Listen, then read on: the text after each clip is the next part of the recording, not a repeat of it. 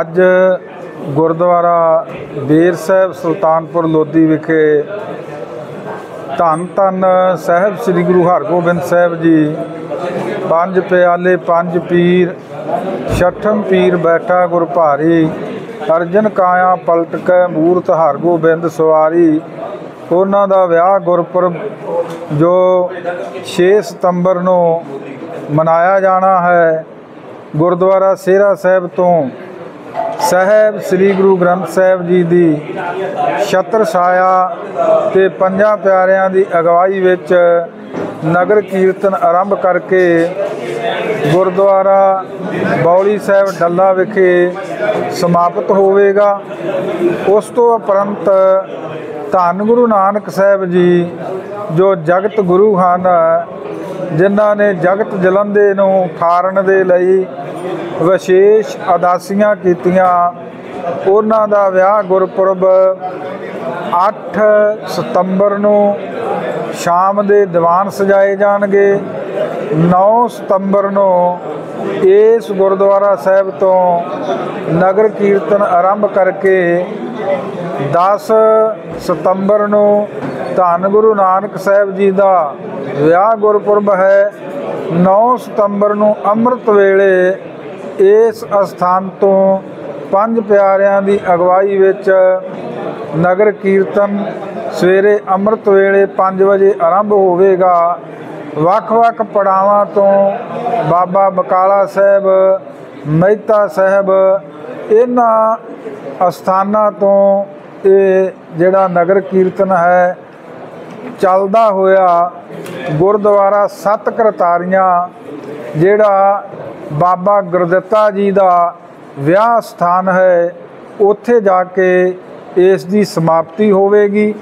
ਇਸ ਸਬੰਧ ਦੇ ਵਿੱਚ ਵੱਖ-ਵੱਖ ਜਥੇਬੰਦੀਆਂ, ਗੁਰਦੁਆਰਾ ਬੇਬਾ, ਬੇਬੇ ਨਾਨਕੀ ਜੀ ਦੇ ਮੈਨੇਜਰ ਸਾਹਿਬਾਨ, ਕਾਰ ਸੇਵਾ ਵਾਲੇ ਬਾਬਾ ਜਸਪਾਲ ਸਿੰਘ ਜੀ, ਸਾਡੇ ਧਾਰਮਿਕ ਜਿਹੜਾ ਖੇਤਰ ਹੈ, ਉਸ ਦੇ ਵਿੱਚ ਹਿੱਸਾ ਲੈਣ ਵਾਲੇ ਧਰਮ ਪ੍ਰਚਾਰ ਕਮੇਟੀ ਦੇ ਪ੍ਰਚਾਰਕ ਸਹਿਬਾਨ ਭਾਈ ਹਰਜਿੰਦਰ ਸਿੰਘ ਜੀ ਹੈੱਡ ਗ੍ਰੰਥੀ ਗੁਰਦੁਆਰਾ ਬੇਰ ਸਾਹਿਬ, ਸਾਡੇ ਸਤਿਕਾਰਯੋਗ ਮੈਂਬਰ ਸ਼੍ਰੋਮਣੀ ਗੁਰਦੁਆਰਾ ਪ੍ਰਬੰਧਕ ਕਮੇਟੀ ਜਰਨੈਲ ਸਿੰਘ ਜੀ ਡੋਗਰਾ ਵਾਲਾ ਤੇ ਵੱਖ-ਵੱਖ ਜਥੇਬੰਦੀਆਂ ਨੇ ਇਸ ਮੀਟਿੰਗ ਦੇ ਵਿੱਚ ਭਾਗ ਲਿਆ ਹੈ ਤੇ ਸਾਰਿਆਂ ਨੇ ਇਹ ਭਰੋਸਾ ਦਵਾਇਆ ਹੈ ਕਿ ਜਿੰਨੀ ਵੀ ਸੇਵਾ ਹੈ ਵੱਧ ਚੜ ਕੇ ਗੁਰੂ ਨਾਨਕ ਸਾਹਿਬ ਜੀ ਦੇ ਵਿਆਹ ਗੁਰਪੁਰਬ ਵਿੱਚ ਤੇ ਧੰਨ ਗੁਰੂ ਹਰਗੋਬਿੰਦ ਸਾਹਿਬ ਜੀ ਦੇ ਵਿਆਹ ਗੁਰਪੁਰਬ ਦੇ ਵਿੱਚ ਤਨੋ ਮਨੋ ਸੇਵਾ ਕਰਕੇ ਗੁਰੂ ਕੀਆਂ ਖੁਸ਼ੀਆਂ ਜਿਹੜੀਆਂ ਹਨ, ਉਹ ਪ੍ਰਾਪਤ ਕੀਤੀਆਂ ਜਾਣਗੀਆਂ। ਇਸ ਸਬੰਧ ਦੇ ਵਿੱਚ ਇਹ ਮੀਟਿੰਗ ਜਿਹੜੀ ਸੀ, ਅੱਜ ਲਈ ਗਈ ਸੀ।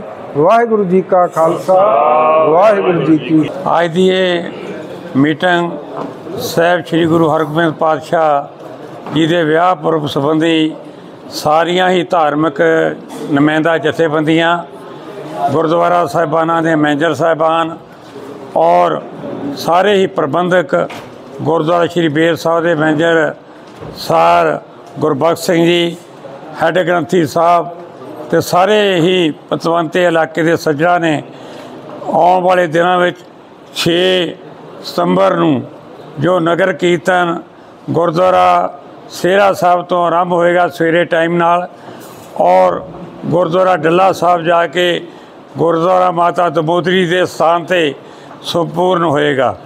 ਉਸ ਸੰਬੰਧ ਵਿੱਚ ਅੱਜ ਸਾਰੀਆਂ ਹੀ ਧਾਰਮਿਕ ਨੁਮਾਇੰਦਾ ਜਥੇਬੰਦੀਆਂ ਨਾਲ ਵਿਚਾਰ ਵਟਾਂਦਰਾ ਕੀਤਾ ਗਿਆ ਔਰ ਇਸ ਨਗਰ ਕੀਰਤਨ ਨੂੰ ਵੱਧ ਤੋਂ ਵੱਧ ਸ਼ਾਨੋ ਸ਼ੌਕਤ ਨਾਲ ਮਨਾਉਣ ਲਈ ਅਸੀਂ ਸਾਰੀਆਂ ਜਥੇਬੰਦੀਆਂ ਨੇ ਤਨ ਮਨ ਧਨ ਦੇ ਨਾਲ ਸੇਵਾ ਕਰਨ ਦਾ ਐਤ ਕੀਤਾ ਹੈ।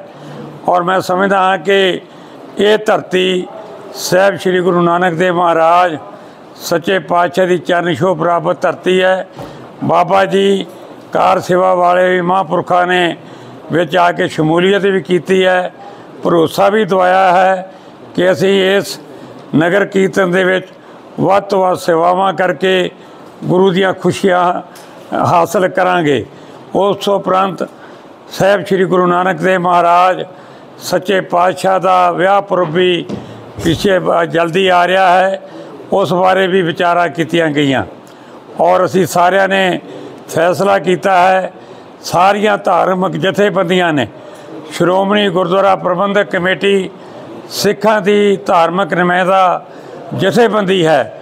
ਸਾਰੀਆਂ ਜਥੇਬੰਦੀਆਂ ਨੇ ਸ਼੍ਰੋਮਣੀ ਗੁਰਦੁਆਰਾ ਪ੍ਰਬੰਧਕ ਕਮੇਟੀ ਨੂੰ ਪੂਰਨ ਸਹਿਯੋਗ ਦੇਣ ਦਾ ਭਰੋਸਾ ਕੀਤਾ ਹੈ, ਦਿੱਤਾ ਹੈ ਅਤੇ ਕਿਹਾ ਹੈ ਕਿ ਦਿਨ ਰਾਤ ਇੱਕ ਕਰਕੇ ਅਸੀਂ ਇਹਨਾਂ ਧਾਰਮਿਕ ਸਮਾਗਮਾਂ ਵਿੱਚ ਵੱਧ ਤੋਂ ਵੱਧ ਹਿੱਸਾ ਪਾ ਕੇ ਆਪਣੇ ਇਲਾਕੇ ਦੇ ਵਿੱਚ ਸੇਵਾ ਕਰਕੇ ਗੁਰੂ ਦੀਆਂ ਖੁਸ਼ੀਆਂ ਪ੍ਰਾਪਤ ਕਰਾਂਗੇ।